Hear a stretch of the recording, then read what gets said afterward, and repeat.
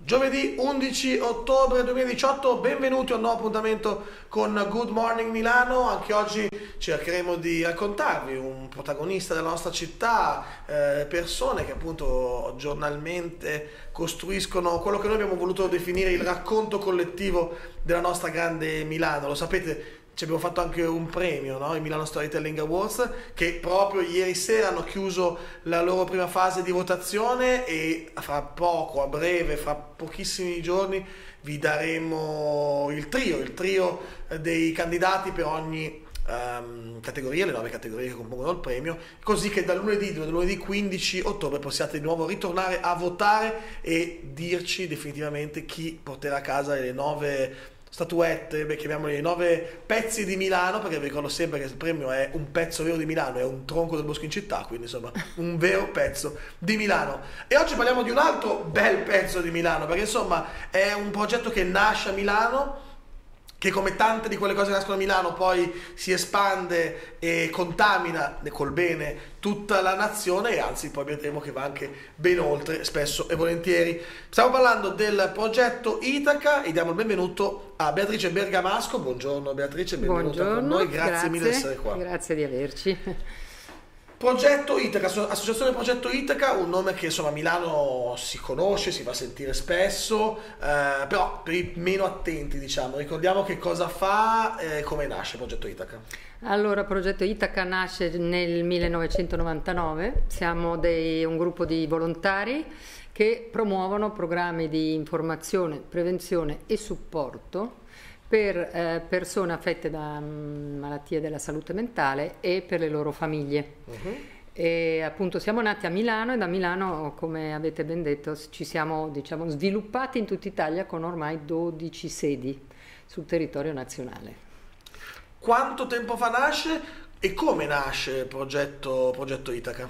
E nasce appunto da un piccolo gruppo di volontari che si accorgono, mh, volontari che sono sia familiari che persone diciamo sensibili al tema della salute mentale, che si accorgono che eh, molto poco viene fatto per un problema tanto, tanto grande. Sappiamo, come dice la Organizzazione Mondiale della Salute, che uno su quattro persone nel corso della sua vita avrà passerà per problemi di eh, salute mentale, questo è un numero molto grande, e anche che questi problemi eh, nel 2030 la depressione sarà eh, un, forse la maggiore causa di disabilità.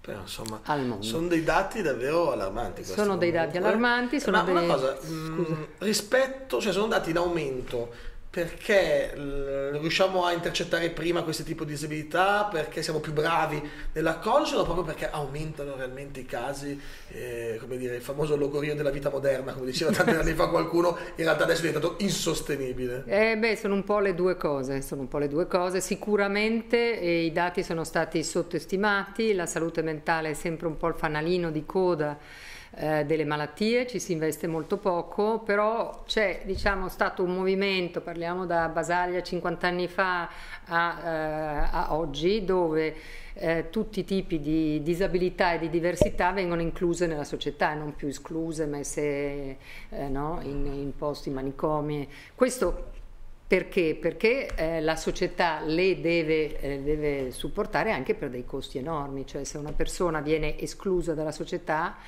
al posto di essere inclusa e recuperata e eh, con un'attenzione alla riabilitazione, e questo è un, è un costo enorme, sociale ma anche economico e in più ci sono mh, delle attenzioni. E diciamo che qui quindi entra in gioco proprio il progetto Ithaca che dico, cioè, benvenga appunto l'inclusione della società, cioè, eh, credo che nessuno dica, cioè benvenga Basaglia, non so come dire, sì. però poi bisogna andare oltre, andare, bisogna andare, andare avanti, nel senso che ormai il mondo appunto si evolve e quindi qui entra in gioco appunto il progetto Itaca che eh, ha tantissime aree di intervento ad esempio. Sì, cioè... sì, sì, il progetto Itaca è nato più di vent'anni fa, appunto nel 99, poi dal 2012 si è diciamo, sviluppato in tutta Italia, sono nate per via di un'enorme domanda che c'è, perché è una, una, richiesta di aiuto che è inascoltata e eh, ci siamo ormai sviluppati in molte città italiane con eh, i nostri progetti che sono, che sono molti e che coprono un po' varie, varie, vari bisogni della salute mentale. Allora, entriamo un po' nello specifico, Beatrice, di cosa fa proprio Progetto Iteca, di cosa fa soprattutto a Milano, perché ricordiamo nata a Milano, poi mi dicevi più di eh, 12 città in Italia sì. vi hanno seguito, eh, so che avete sempre anche un filo diretto molto a contatto anche con l'estero, da esatto. cui prendete suggestioni, da cui insomma ci si scambia eh, progetti, diciamo, però Rimaniamo adesso un attimino a su Milano, Milano. Eh, Progetto Iteca che cosa fa a Milano? Allora a Milano abbiamo eh, la sede dell'associazione, della prima associazione eh, che è nata e anche della fondazione che è quella un po' che, ha, che dà le linee guida, che dà, la, che dà la, la, la, visione, la missione di Progetto Itaca e che eh, aiuta e sostiene la comunicazione.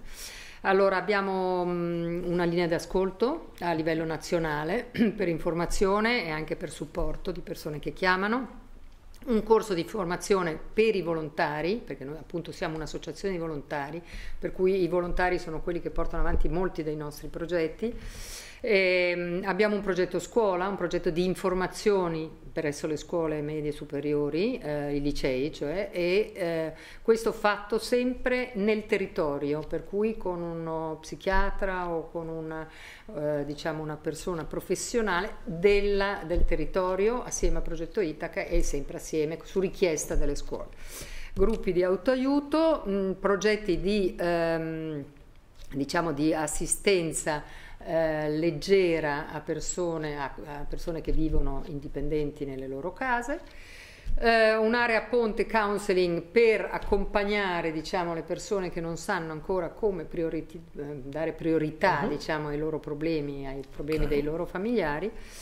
E, e infine ehm, eh, pro, due, due, progetti che abbiamo praticamente copia, copiato, che abbiamo um, più che copiato, che abbiamo portato in Italia con dei convegni con delle associazioni internazionali, uno che si chiama Club Itaca, sì. Clubhouse, e l'altro eh, che è... Corso è, di formazione eh, no, è un progetto che aiuta di educazione ah, per di educazione. i familiari ah. e pari a pari e adesso stiamo facendo un nuovissimo progetto che è molto interessante che è di persone che hanno esperienza di problemi di disagio mentale agli operatori. Ah.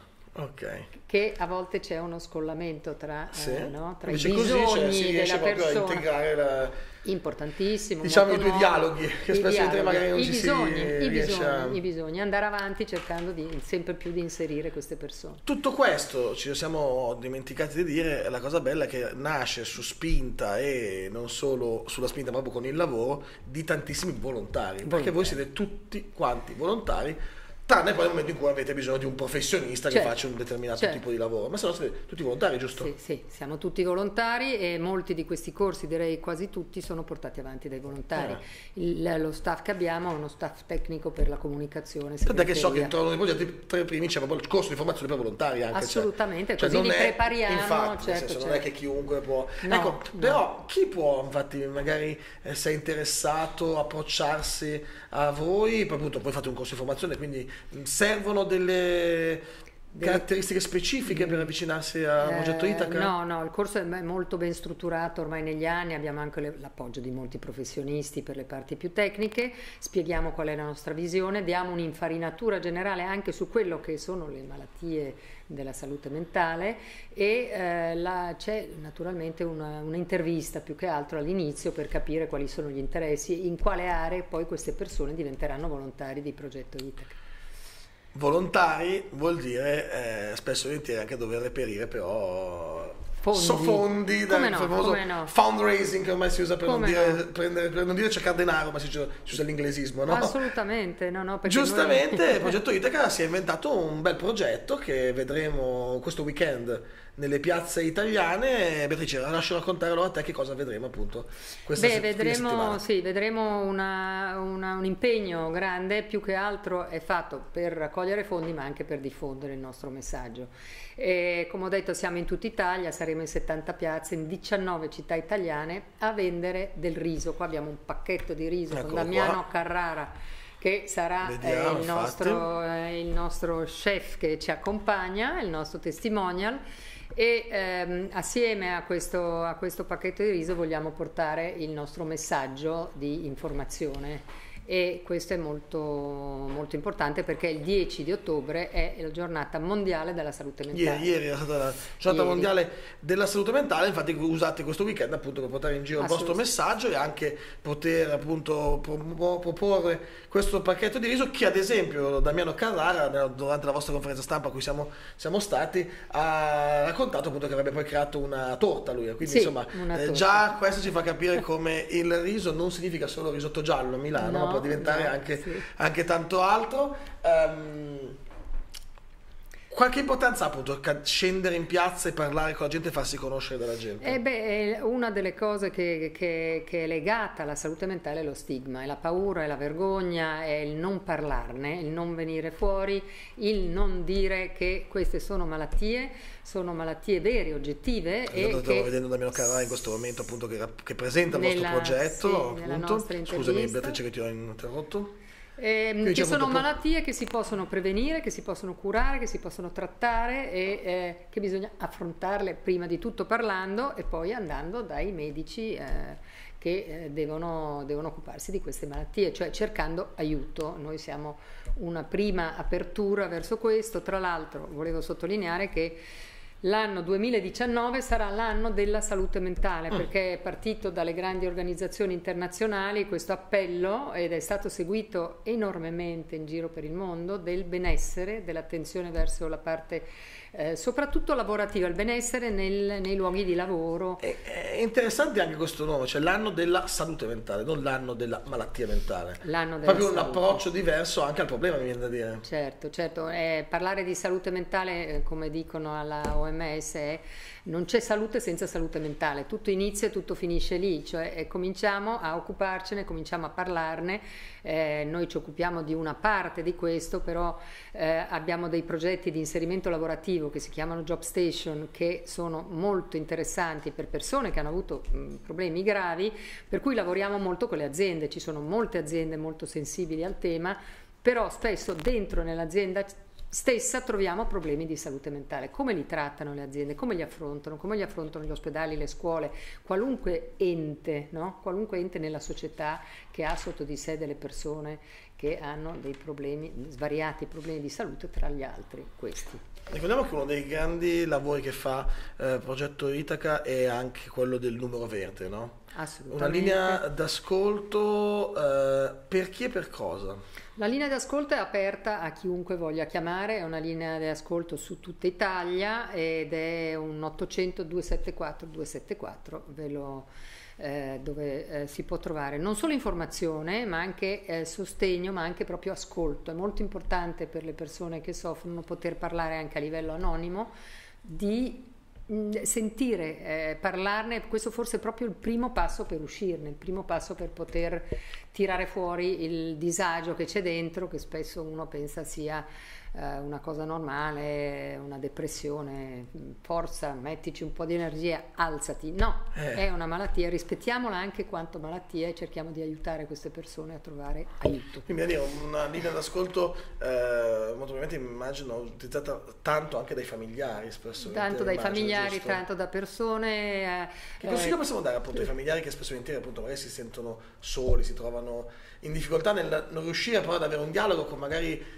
il proprio caro che appunto viene a dire dai alzati, eh, che forse è la cosa peggiore da dire a una persona che sta male. È molto difficile non dirla, è molto difficile non dire mangia, Infatti, è molto difficile. Ma sappiamo che insomma non è una cosa che dall'altra parte invece è vista come una delle peggiori perché, cose che gli si possano perché dire. Perché no? queste malattie ancora, ricadono ancora troppo sulle famiglie, perché sono nascoste, perché si ha vergogna, perché si ha molta paura. Mm. Allora facciamolo uscire allo scoperto, venite, parlatene, noi siamo volontari, siamo familiari, io stessa sono familiare familiare, siamo persone che soffrono a volte e, e per cui siamo, accogliamo, non siamo professionisti, veniteci a parlare e noi cercheremo di darvi delle, delle possibilità, varie possibilità per affrontare questa, queste difficoltà. Allora, siamo quasi in chiusura, ti chiedo di ricordarcelo l'appuntamento di questo weekend nelle piazze italiane. Eh, l'appuntamento allora in 70 piazze, saremo eh, dislocati fuori da, dalle chiese la domenica, in giro in piazze un po' dove c'è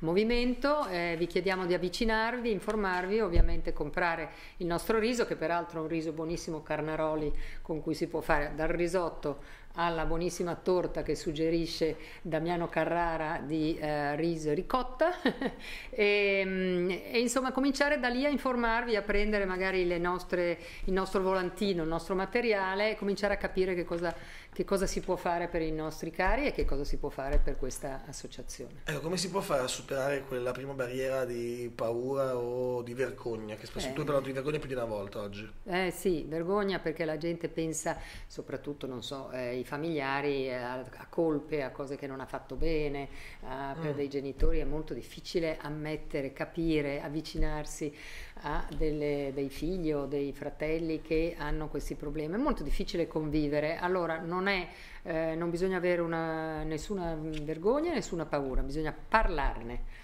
parlarne noi eh, vi aiutiamo a fare questo, a fare il primo piccolo passo per poi aiutare di più, perché più uno sta bene, più aiuta anche gli altri e più aiuta anche i suoi familiari. Abbiamo un bellissimo corso di familiari che si chiama Family to Family, mm. che hanno seguito centinaia di persone in giro per il mondo, che è un corso tenuto da familiari a familiari. Ah. Per cui non c'è bisogno di spiegare cosa vuol dire avere una persona così in casa. È un corso educativo, è un corso che ti fa crescere che ti fa imparare delle cose per gestire mol, meglio il tuo stress, la tua difficoltà ad avere questa persona, per cui aiutare anche la persona che hai in famiglia. Ricordaci anche, Beatrice, le coordinate per eh, trovare appunto Progetto Itaca dove possiamo sui social, su internet, i numeri di telefono, eh, le coordinate cosa... a Milano dove possiamo trovarvi? Eh, a Milano siamo in via Volta numero 7A, comunque siamo progettoitaca.org e siamo su tutti i social con sotto Progetto Itaca ci trovate. Famiglia, eh, vi ripeto il numero verde. Sì, vediamolo anche in grafica. Cristina, ti chiedo di mettere in grafica il numero verde, che insomma un ascolto sempre in linea, eccolo qua. L'800 274 274, poi c'è anche comunque per le chiamate da cellulare, cellulare. o eh, la linea, l'indirizzo mail a cui appunto poter chiedere un consulto o semplicemente appunto qualche informazione in più assolutamente, assolutamente. scriveteci, telefonateci e noi prenderemo un appuntamento e vedremo in che cosa vi possiamo aiutare. È un primo passo ed è molto importante Beatrice, grazie mille, davvero. Ricordiamo che questo weekend in più di 70 piazze in 19 città, compresa quindi e ovviamente anche Milano, potete trovare Progetto Itaca e il riso. Ecco qua appunto l'iniziativa di raccolta fondi a favore di Fondazione Progetto Itaca, sabato e domenica nelle maggiori piazze italiane, 70 piazze, 19 città d'Italia, come dicevo Milano ovviamente compresa, eh, avvicinatevi, chiedete informazioni, sanno, avete visto, cioè, vi spiegano tutto quello che c'è da sapere. Ci saranno i nostri volontari pronti Tanti a rispondere. volontari che eh, giornalmente si impegnano appunto con un grande lavoro, con un grande sforzo, Molto. immagino che sia Molto anche impegno. uno sforzo davvero impegnativo anche da parte insomma, delle, di voi che magari più anni che siete dentro l'associazione riuscire a, a gestire tutti questi sì, volontari. Però cresciamo e diamo un, secondo me un importantissimo servizio alla comunità e questo ci, ci dà un bel ritorno. Beh, questo sicuramente sì, Beatrice, insomma poi a Milano siamo abituati ad avere sì. davvero grandi realtà che aiutano molto questa città e anzi voi poi giustamente vi siete anche ingranditi, siete usciti dai nostri confini giustamente perché insomma il progetto è un progetto valido e quello della salute mentale è una problematica che comunque insomma sempre più ampia e come dicevi appunto i numeri sono sempre di più, si riesce a intervenire però per fortuna sempre prima, mi dicevi. Sì, sì, insomma, sì, riesce... a recuperare persone che sennò diventerebbero diciamo croniche, invece croniche. così si può ritornare a una vita sociale e lavorativa soddisfacente diciamo. Perfetto, allora grazie mille a Beatrice Bergamasco dell'associazione Progetto Itaca, grazie mille davvero. Grazie a voi. Grazie Buon a voi weekend di lavoro, di lavoro perché immagino che ti troveremo in, in qualche piazza. Piazze, sì. E alla prossima. Grazie mille, tornate appena avrete altre iniziative da raccontarci, noi siamo qui ben contenti di darvi spazio. Molte grazie, arrivederci a tutti. Grazie anche a tutti voi che ci avete seguito, vi ricordo questo weekend il progetto Itaca nelle maggiori piazze di Milano troverete il riso con cui potete fare quello che volete oppure seguire il, l'esempio di Damiano Carrara, una torta di riso e ricotta, perché no? Che insomma il riso a Milano ormai non è più solo risotto giallo, quindi abbiamo anche scoperto questa cosa. Io vi ringrazio davvero tantissimo per averci seguito, vi do appuntamento a domani, sempre qui in diretta alle 12.30 con Good Morning Milano. Grazie mille, arrivederci.